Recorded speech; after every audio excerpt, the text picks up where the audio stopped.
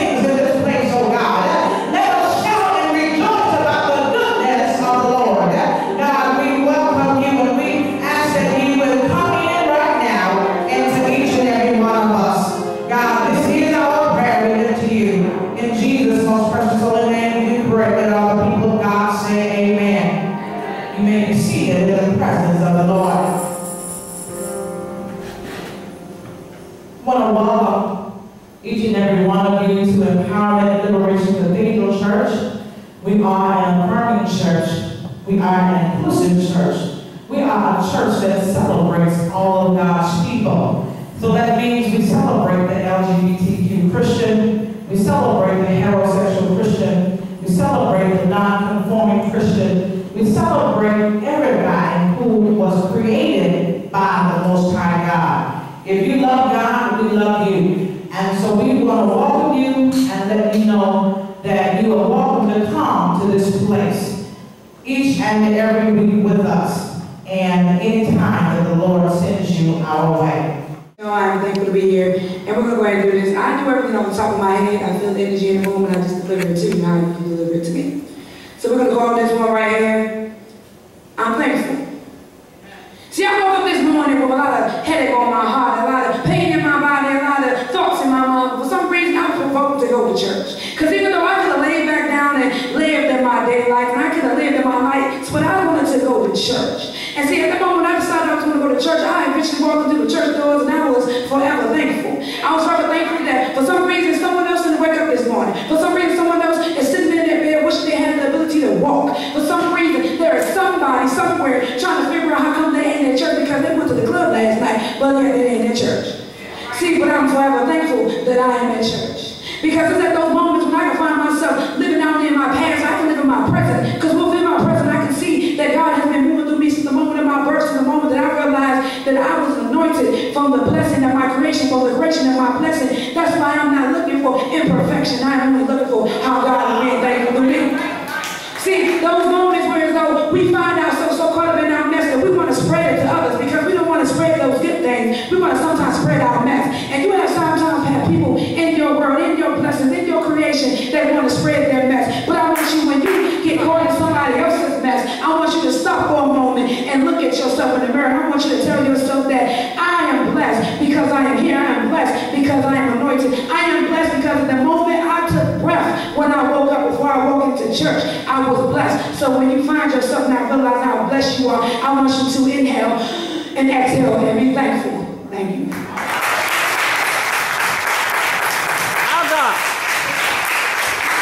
God.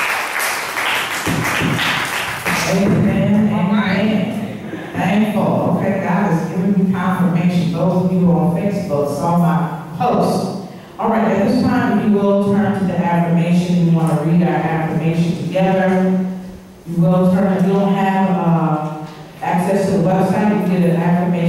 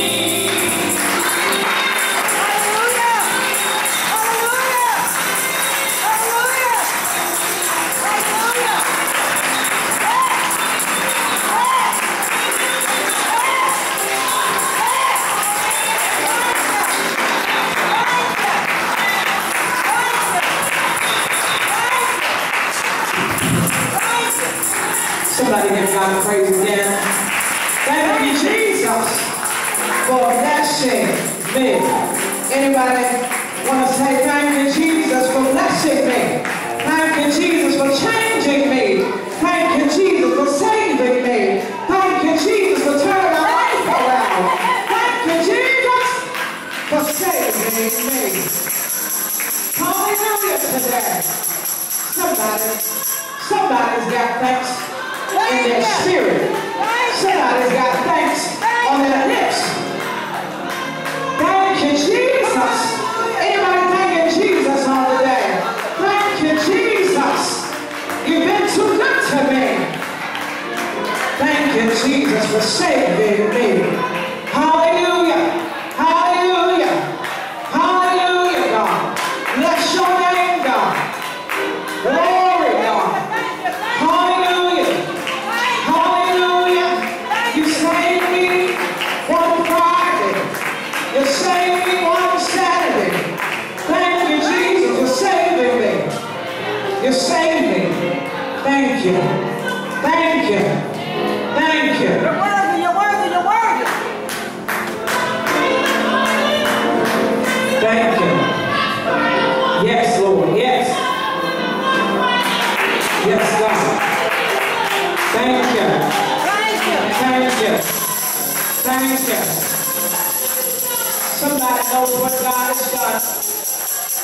Has never done anything for you, you won't have a praise.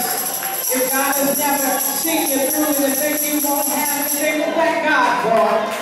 If God has never opened doors, made a way, you won't have anything to shout about. But if God has done anything, anything, anything, anything, anything, anything, anything, anything, anything, you ought to have a reason to say thank you, Lord, on today.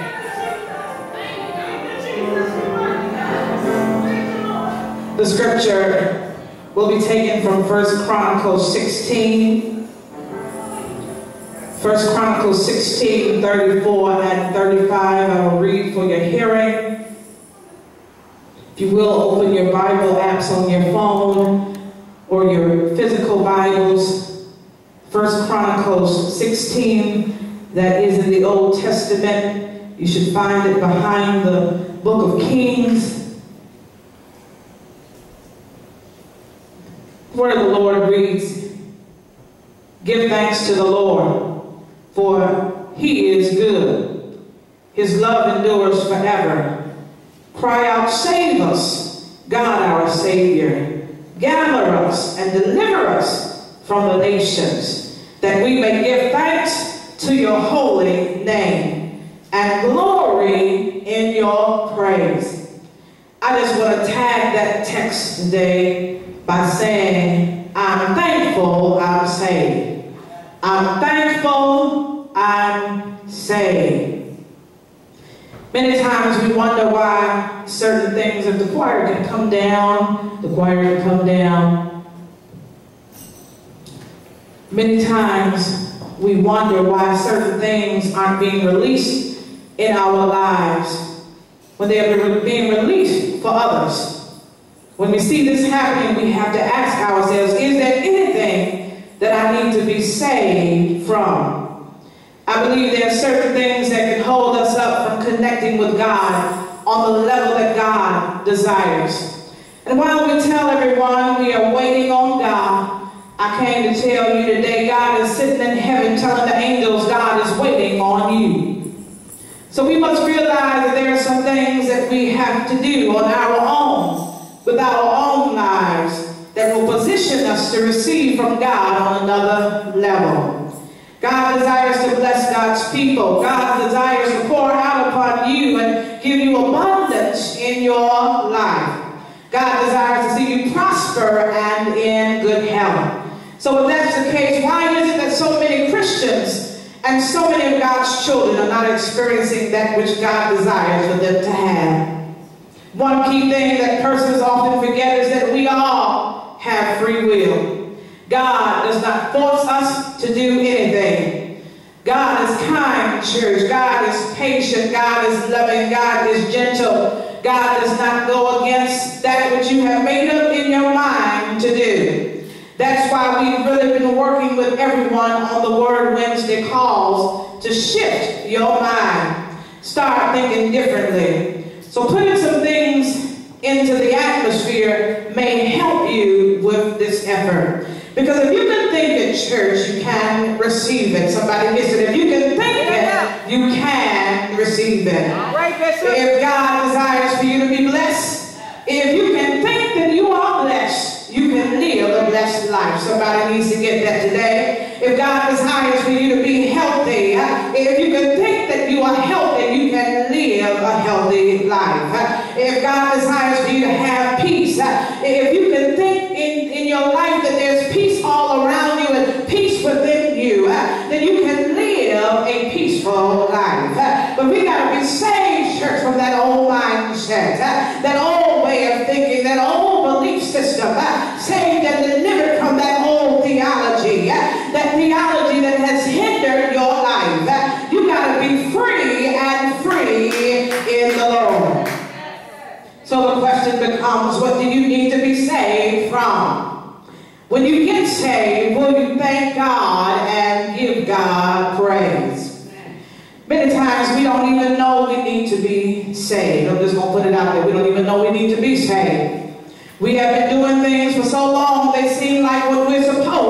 谢谢。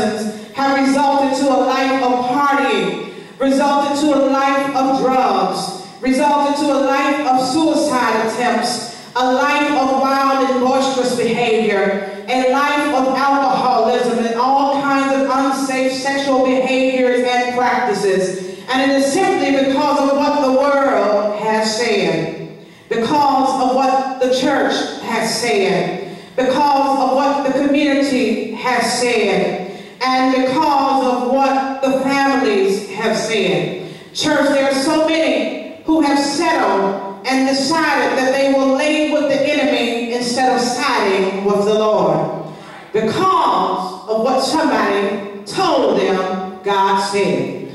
But the Bible says, cry out, save us, God, our Savior. So I came to tell somebody today, you need to cry out to the Lord.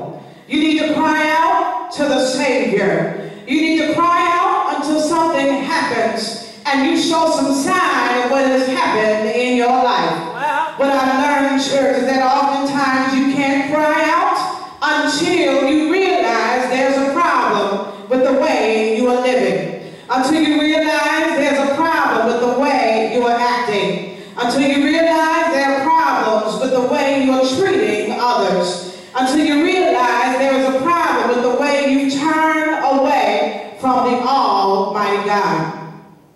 I came to help somebody realize that some of y'all have got some problems on today. If you left the Lord for any reason, you need to get saved on today. I knew y'all wasn't going to say nothing right there. If you turn to a life of damnation and all kinds of activities that don't give God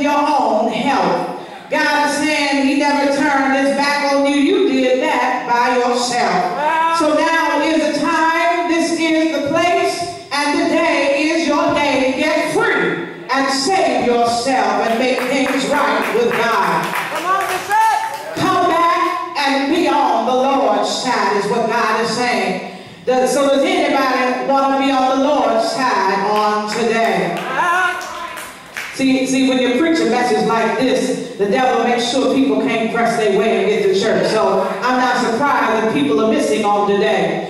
Now, now, once you realize that you need to cry out, then something in you has to mean it so that you can be set free. Oftentimes, we the people have a good cry about something. Y'all know how we'll cry about something,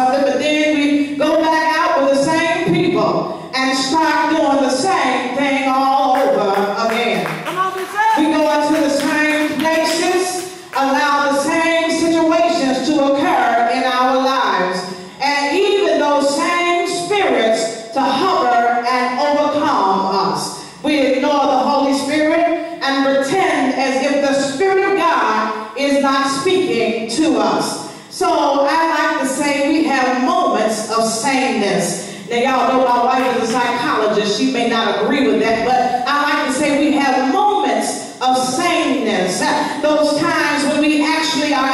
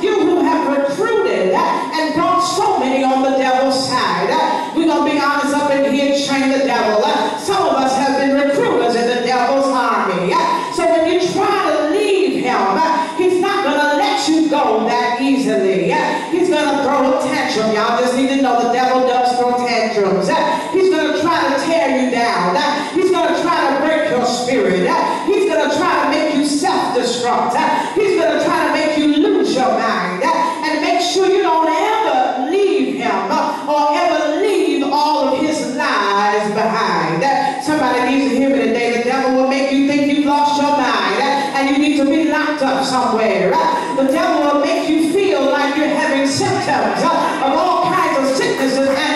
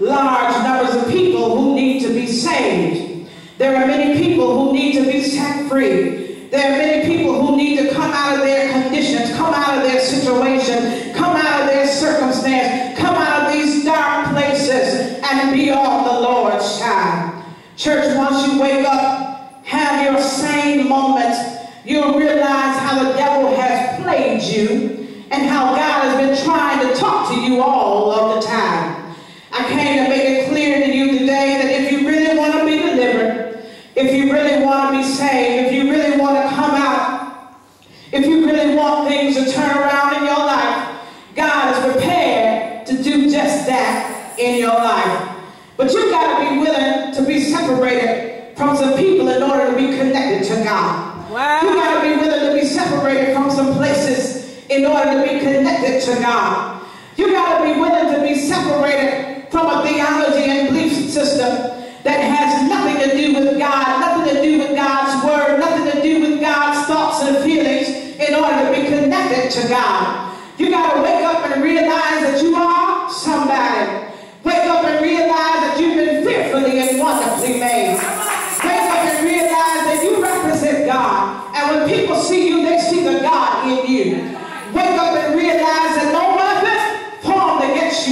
be able to prosper. Wake up and realize that you are more than a conqueror through Christ Jesus our Lord. Wake up and realize that you have power, power to call things into existence and to speak things that are not into being. So you got to release your own self so that you can be on the Lord's side. Release yourself, church, and walk in your destiny. Release yourself,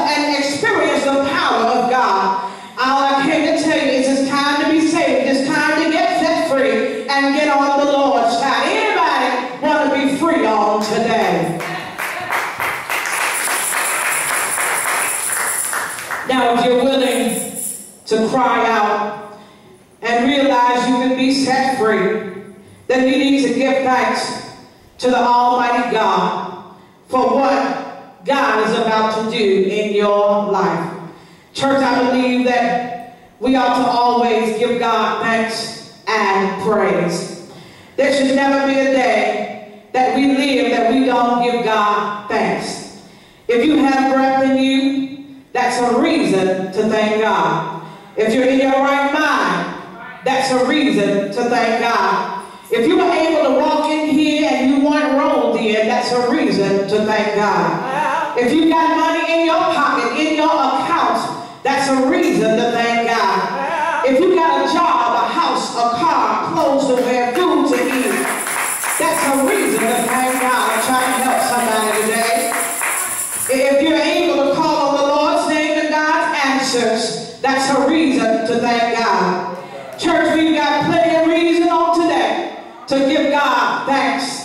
Praise. The Bible says that we may give thanks to your holy name and glory in your praise. Now somebody might be wondering why do they want to give thanks to God's name. Let me see if I can help somebody today. Though from what I understand, there is no other name greater than God's name. There is no one like God. No one greater than God. No one who can do what God can do. So that's why they wanted to give thanks to the highest name that there is, and that name is God. And if you would just think about all that has happened in your life, think about how you got over, think about how many times your life has been spared. You are to want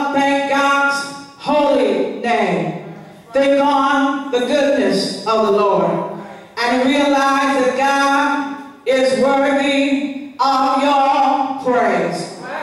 Somebody ought to praise God, church, just for keeping you when you came out and gave your truth to the world about who you are. Somebody ought to praise God, church, for how